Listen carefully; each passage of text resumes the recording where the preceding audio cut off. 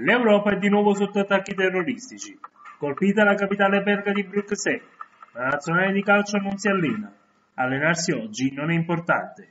Probabilmente sarà annullata l'amichevole del 29 marzo contro il Portogallo. La Serie A si svuota per le nazionali. Sono ben 154 i giocatori selezionati tra amichevoli e qualificazioni al mondiale. La Roma lascia partire 14 giocatori. Seguono Juve, Napoli e Milan con 12. L'Inter si ferma a 10.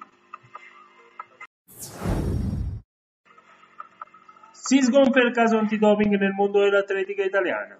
Tra gli altri scagionati, Donati, Greco, Meucci e Ove. Tutti questi atleti saranno dunque presenti alle Olimpiadi di Rio de Janeiro in estate, visto che hanno conquistato le qualificazioni in pista.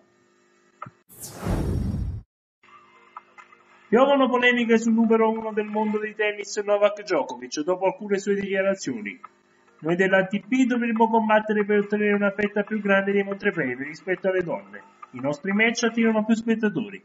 Queste le parole del numero uno al mondo. Clamoroso tonfo di San Antonio che avanti di 20 contro Charlotte si fa rimontare e cede 88 a 91.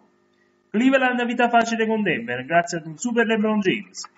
Bellinelli segna 9 punti contro Chicago nella sconfitta dei Kings.